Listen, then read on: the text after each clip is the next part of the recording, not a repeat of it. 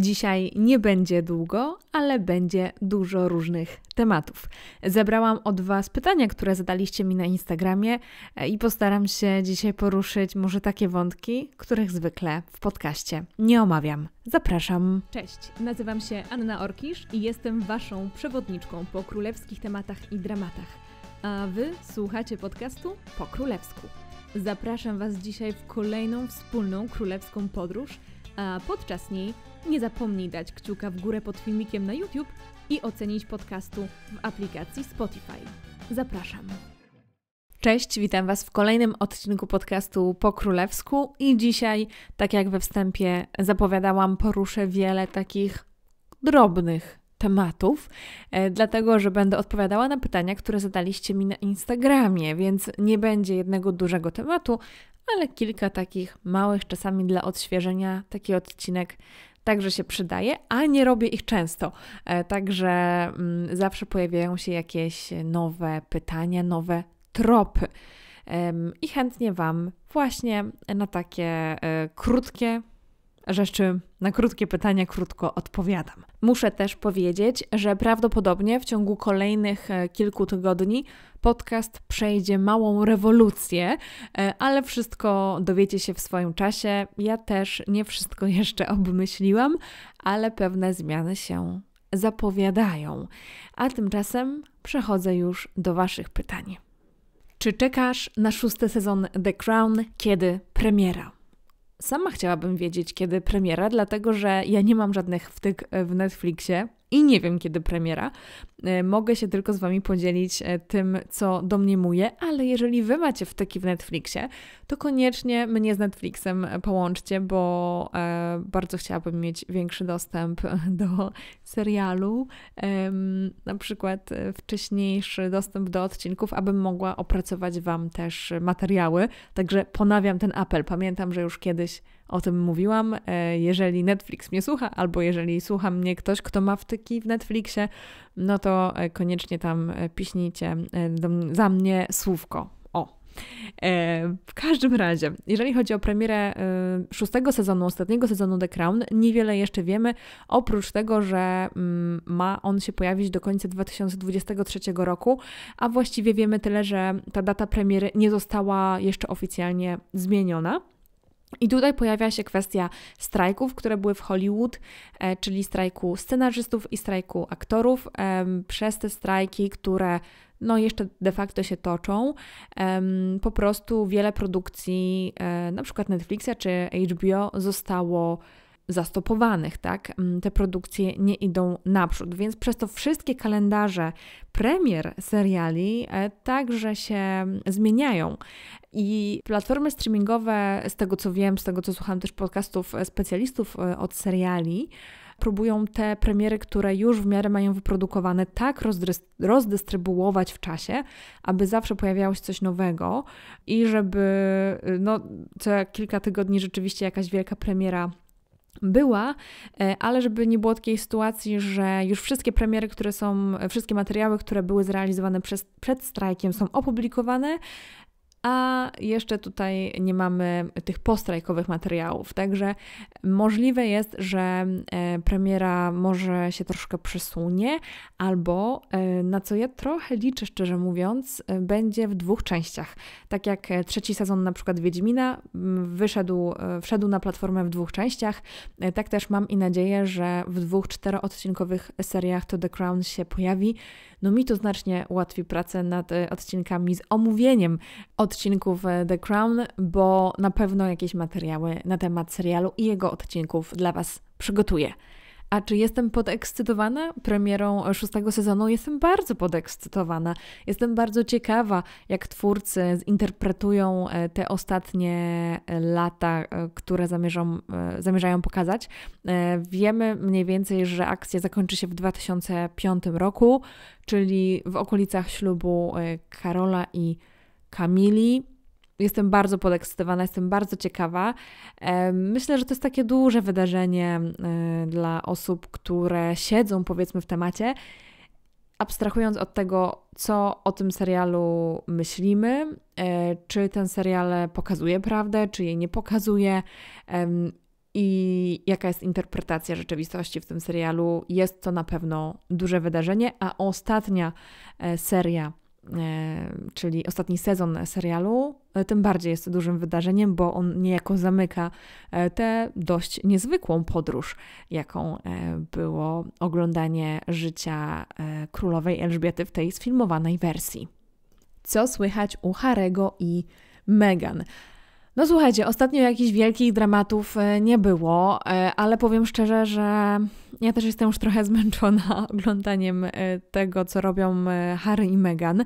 Na pewno to, co we wrześniu było dużym tematem, to był ich udział w igrzyskach Invictus Games, czyli są, jest to inicjatywa Harego, dla tych, którzy, którzy może nie spotkali się wcześniej z tym określeniem. Jest to inicjatywa Harego, to są takie jakby igrzyska olimpijskie, dla weteranów wojennych, dla osób, które e, także zostały na wojnie mm, ranne e, i poprzez sport mm, weterani wracają do życia, tak? Mają się e, czym zająć, wychodzą też z trudnych sytuacji, na przykład psychicznych, potrafią się odnaleźć w tej nowej dla nich rzeczywistości po powrocie z frontu. Jest to jak najbardziej szlachetna inicjatywa i właśnie e, ostatnia edycja e, tych igrzysk odbyła się, e, z tego co pamiętam, w Düsseldorfie właśnie we wrześniu 2023 roku i tam mogliśmy Harego i Meghan oglądać. E, wiele e, tabloidów interesowało się stylówkami Meghan, tak? To zdecydowanie, no niestety przykuwało znacznie większą czasami uwagę niż sens w ogóle pojawienia się tam Meghan. Porównywano często Meghan do Kate, mm, także no taka klasyczna, klasyczna rzecz. Ale teraz z ciekawości przed chwilą wygooglowałam Wpisałam sobie właśnie Harry Meghan News i na jednym właśnie z, z tabloidów, z tego co pamiętam, brytyjskich, był taki news, że może Meghan będzie kandydowała do amerykańskiego Senatu e, właśnie z Kalifornii. Także no takie plotki czy takie e, newsy także się pojawiają. Nic takiego wielkiego póki co, e, póki co w ostatnio Harry i Meghan nie wyczynili, ale właśnie to Invictus Games to był bardzo duży temat i też kilka tygodni temu pojawił się na Netflixie e, taki dokument, e, sześcio czy pięcioodcinkowy właśnie na temat tych igrzysk. Zaczęłam go oglądać, jak skończę to może coś więcej na temat ten Wam powiem. Ulubiony członek rodziny królewskiej. Czy to pytanie nie pojawia się za każdym razem, jak pytam Was o pytania do odcinka? E, w tym momencie nie mam chyba ulubionego członka e, rodziny królewskiej, e, brytyjskiej, bo o tej tutaj mowa w tym pytaniu. Chyba dzisiaj jest to księżniczka Anna, mm, ale to dlatego, że obejrzałam przed chwilą podcast w którym księżniczka Anna była jednym y, z, mm, jedną z osób, która się wypowiadała. Y, I bardzo ciepło, e, bardzo ciepło w ogóle odebrałam całą tą rozmowę właśnie. Wydaje mi się, że, że przez tę niezwykłą osobowość księżniczki Anny, ale też widziałam, że jest pytanie o ten podcast, więc za chwilę Wam o nim więcej opowiem. Znalazłam pytanie o ten podcast i brzmi ono tak. Co sądzisz o występie Kate w podcaście o rugby? Więc um, jest podcast o rugby, który się nazywa Good, Bad and the Rugby. E, I jest to podcast e, między innymi prowadzony przez e, Mike'a Tindala. Mike'a Tindala, czyli męża Zary Tindall, córki księżniczki Anny, wnuczki Elżbiety II. I Mike zdobył, że tak powiem, królewskich gości mm, i we wrześniu e, pojawił się taki odcinek podcastu, który także możecie zobaczyć na YouTube, e, gdzie właśnie y, trzech prowadzących ten podcast o rugby zwykle, tak, w tym Mike, rozmawia w, w zamku w Windsorze właśnie z księżniczką Anną, a także z księciem i księżną Wali, czyli z Williamem i Catherine. I jest to godzinna rozmowa, bardzo przyjemnie się to ogląda, mm, ale właśnie pytanie było, co sądzę o występie Kate, Catherine w tym, e, w tym odcinku podcastu i powiem Wam, że byłam bardzo zdziwiona. Dlatego, że e, ogólna dynamika tego podcastu mm, jakby omijała troszkę Kate. E, księżniczka Anna bardzo dobrze tam wypadła. W ogóle e, jej energia, jej wiedza, jej takie do powiedzenia, ale też dystans do siebie. Nawet nagrałam e, na telefon kilka takich najlepszych min czy reakcji. E, no, ona była absolutnie sercem. E, ona i Mike wspaniale w ogóle ze sobą tam jakby no, rozmawiali. Jakoś tak reagowali ze sobą i oni byli takim sercem tego odcinka. To było naprawdę niezwykłe. No, księżniczka Anna absolutnie jest e, dzisiaj moim ulubionym członkiem brytyjskiej rodziny królewskiej, ale William odnajdywał się też bardzo dobrze, bardzo naturalnie. I Anna i William bardzo, bardzo naturalnie wypadli. No i właśnie Kate e, w kontraście do nich nie wypadła tak naturalnie. Jakby zabrakło jej trochę luzu, może ktoś powie, że charyzmy, czasami może poczucia humoru, jakiegoś takiego sznytu, może nie do końca miała za dużo do powiedzenia e, w tym temacie. E, bo sam podcast nie był tylko o rugby, był przede wszystkim o sporcie, o roli sportu w życiu, e, w ich życiu. E, oczywiście jest kilka ciekawostek z tego podcastu, jak na przykład to, że Kate uwielbia pływać w zimnej wodzie i jeżeli pada, jest zimno, to ona uwielbia pływać wtedy w morzu, w zimnej, zimnej wodzie. To taka ciekawostka, ale ogólnie rzecz biorąc, no, Kate tam nie wypadła zbyt naturalnie inaczej. Może jest to naturalne dla niej zachowanie i jest to jak najbardziej ok, ale ten kontrast pomiędzy tymi, no jakby nie patrzeć, przebojowymi osobami, jakimi są i Anna, i William, no to Kate tutaj wypadła znacznie bardziej stonowanie i ten kontrast jest naprawdę duży. Tak czy inaczej, warto posłuchać tego odcinka e, podcastu. E, tak jak mówiłam, nazywa się Good, Bad and Rugby Windsor Castle. Jak wpiszecie w YouTube, na pewno Wam wyskoczy. Kolejne Pytanie: do jakiej rodziny królewskiej chciałabyś należeć? To też jest takie pytanie, które często się pojawia chyba w QA.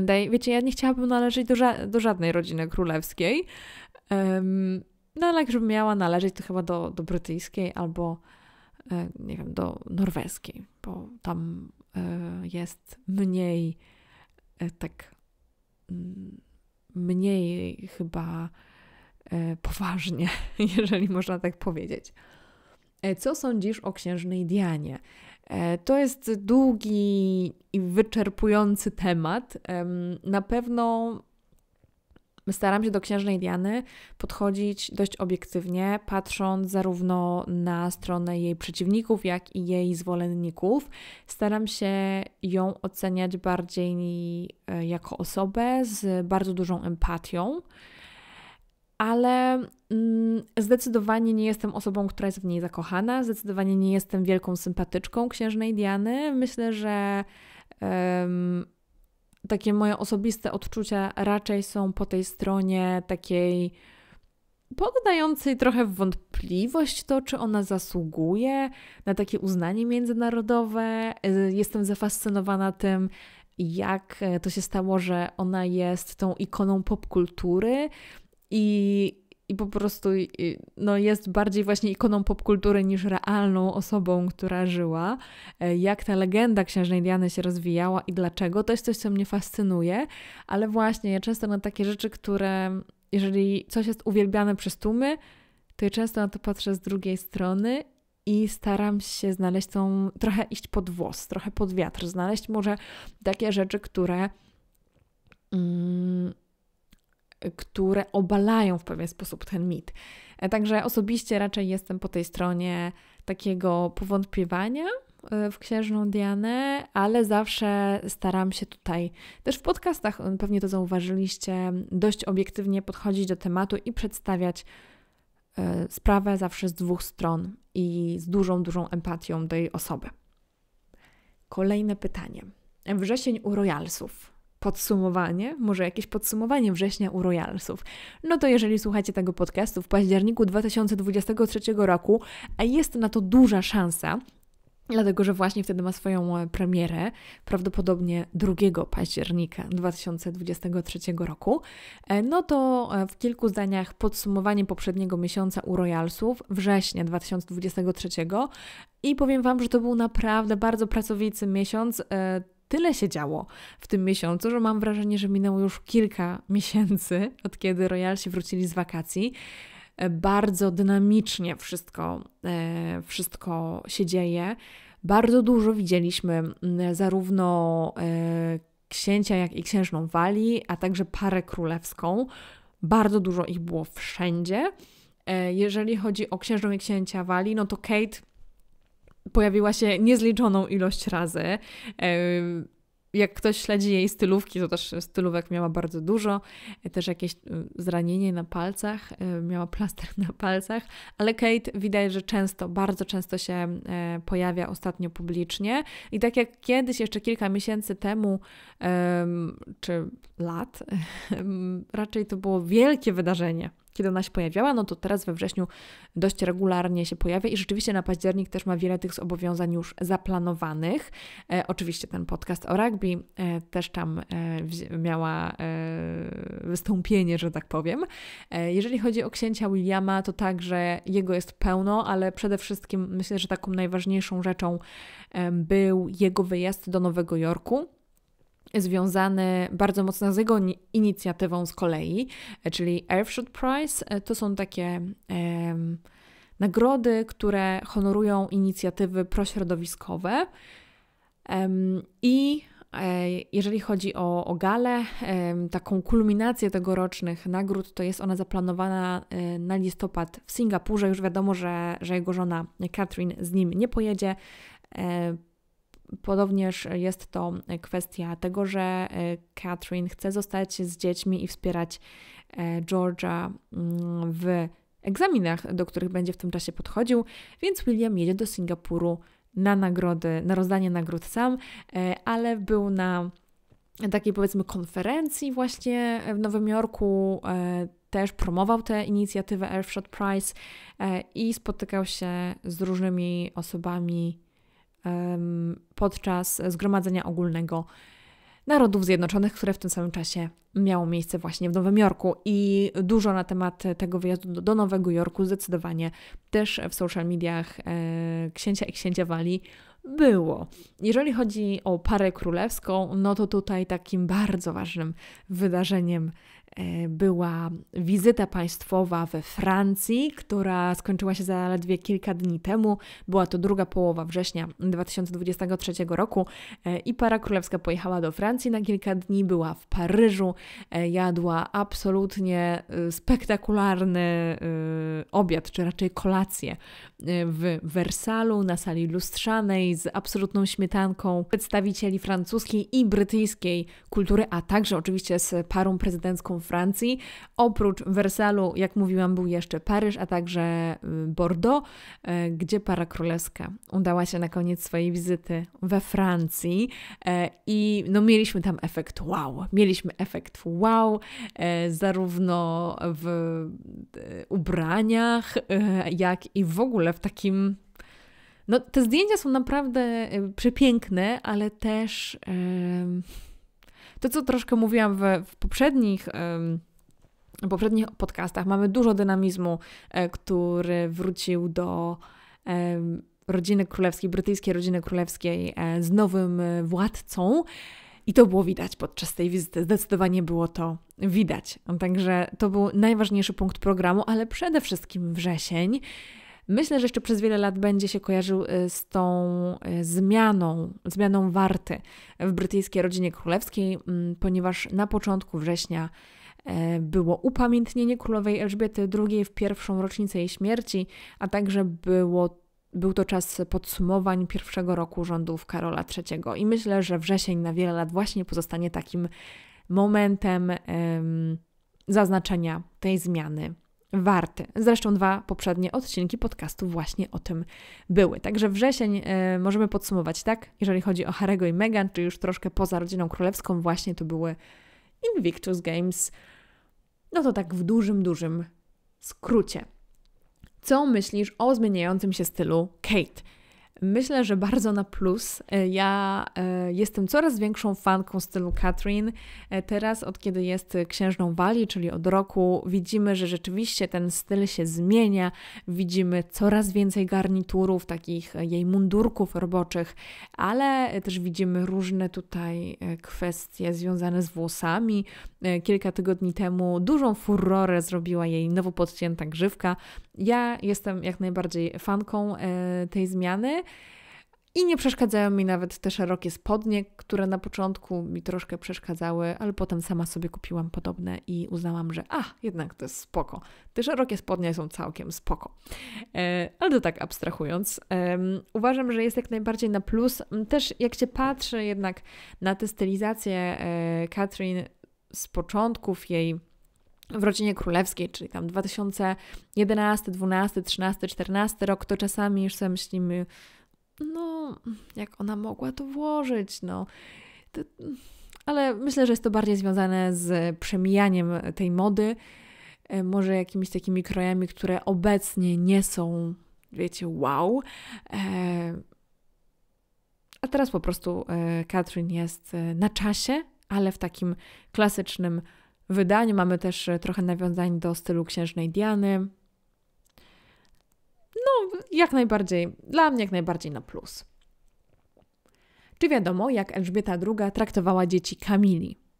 To jest e, pytanie, które mnie bardzo zaskoczyło, e, dlatego że ja się nigdy nad tym nie zastanawiałam, jak Elżbieta II traktowała dzieci Kamili. Zawsze uważałam, że dzieci Kamili e, jakby zostały trochę w tym świecie,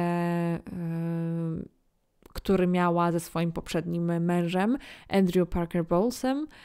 E, że one zostały jakby w zwykłym świecie, a mało były inkorporowane do tego świata królewskiego, także szczerze mówiąc, no, no nie wiem, może się tam spotkały, ale e, nie słyszałam, chyba to nie jest jakiś taki bardzo eksplorowany temat ale także było pytanie, czy dzieci Kamili są pracującymi członkami rodziny e, królewskiej. Nie są, nie są członkami rodziny królewskiej w ogóle um, jako takimi i tym bardziej nie są pracującymi członkami rodziny królewskiej, są prywatnymi osobami. Czasami możemy je zobaczyć e, na bardziej rodzinnych uroczystościach, właśnie takich jak na przykład koronacja, kiedy Kamila też jakąś dużą rolę odgrywa ale y, nie są pracującymi członkami brytyjskiej rodziny królewskiej. Co ze zdrowiem Sary Ferguson? Sara Ferguson, dla tych, którzy zapomnieli o istnieniu tej pani, y, jest to była żona księcia Andrzeja. Ona czasami tutaj się pojawia, jeżeli wspominamy o korgi królowej, którymi właśnie Sara z Andrew się z Andrew, czyli z Andrzejem, opiekują, ale Sara też ma dużo swoich inicjatyw, na przykład pisze książki e, i mówi o tym bardzo dużo na swoim Instagramie, więc możecie sobie zaobserwować, jeżeli jesteście bardzo ciekawi. W każdym razie e, w czerwcu media obiegła informacja, że u Sary we wczesnym stadium zdiagnozowano raka piersi e, i że podjęto decyzję o masektomię jednej piersi. Nie doszukałam się żadnych nowszych e, informacji na temat stanu zdrowia Sary, ale e, mam nadzieję i życzę jej wszystkiego najlepszego. Mam nadzieję, że wraca już do zdrowia. Czy wiadomo coś o relacjach dzieci Kate i Williama z Kamilą? Kiedyś chyba coś od, na ten temat wspominałam, ale to też jest takie jakieś bardziej moje domniemanie. Są takie rzeczy w rodzinie królewskiej, których się jakoś tam super publicznie nie omawia, a też mówienie o relacjach pomiędzy ludźmi w rodzinie królewskiej y, jest dosyć trudne, dlatego że no, to, co widzimy w mediach, y, czy podczas y, takich oficjalnych uroczystości, nie zawsze się pokrywa z rzeczywistością. E, wiadomo, ale no, jest to żona ich dziadka, więc, więc poniekąd ich babcia. Może nie jest to babcia biologiczna, wiadomo, ich babcią biologiczną byłaby Diana, ale tutaj też jakoś bardzo y, się nie wchodzi w te relacje, nie za dużo się mówi. Więcej się chyba mówi o relacji y, Karola ze swoimi wnukami i to głównie chyba dlatego, że podczas niektórych wydarzeń publicznych y, Karol z nimi że tak powiem, publicznie, ma publiczne interakcje, więc po tym można raczej poznać, że dzieci się go nie boją, że raczej ciepło do niego podchodzą, siedzą na przykład mu na kolanach podczas koncertu. Także, także tego typu momenty. Jakie zadania na rzecz monarchii wykonują dzieci Williama i Kate? Nie wykonują obecnie żadnych e, obowiązków na rzecz monarchii e, czy zadań. Są dziećmi, chodzą do szkoły, mają swoje życie. Czasami pojawiają się, wiadomo, w przestrzeni publicznej, szczególnie przy jakichś takich dużych rodzinnych e, uroczystościach, ale póki co absolutnie nie pracują na rzecz monarchii royalsowe wydarzenie, na które najbardziej czekasz. I tutaj e, mam problem, ponieważ nie czekam chyba na żadne wydarzenie, e, ponieważ e, taki cykl, mam wrażenie, tych wszystkich wydarzeń, wielkich wydarzeń królewskich, czy to w brytyjskiej rodzinie królewskiej, czy na przykład w duńskiej, czy w szwedzkiej, się tak w pewien sposób zakończył. Teraz wydaje się, że będzie trochę spokoju przez kilka lat. Tutaj na horyzoncie oczywiście mamy ten, tą premierę szóstego sezonu The Crown. To warto brać pod uwagę zawsze. Mamy na horyzoncie pod koniec sierpnia przyszłego roku ślub królewski czy właściwie ślub w rodzinie królewskiej norweskiej, e, ale to też chyba nie będzie e, aż tak wielkie wydarzenie, taki royal wedding z prawdziwego zdarzenia. No i to co, no czekamy na nową generację royalsów, która obecnie jest nastolatkami i ich historię, myślę. Także nie czekam na żadne wielkie royalsowe wydarzenie. Jak mogę wspierać po królewsku? Czyli to jest pytanie, które też pojawiło się już ostatnio, więc bardzo dziękuję, że e, je zadajecie i że macie ochotę wspierać e, ten projekt, jakim jest po królewsku. Czyli przede wszystkim, jeżeli słuchacie tego odcinka, a jeszcze nie subskrybujecie albo nie obserwujecie, no to po prostu zasubskrybujcie albo zaobserwujcie e, mój podcast. To już jest naprawdę duża pomoc i zostawcie komentarz lub recenzję naprawdę to, to jest widoczne i, i to też jest brane pod uwagę przy mm, jakby promocji mojego podcastu do innych słuchaczy, tak? Algorytmy lubią takie, e, takie rzeczy, więc tak możecie mi pomóc. E, a jeżeli macie na przykład ochotę postawić mi kawę, to zawsze w opisie odcinka jest link, e, więc gorąco zachęcam. Można mi postawić na przykład espresso i wspomóc mnie e, w ten sposób taką małą darowizną. Także tak można wspierać po królewsku.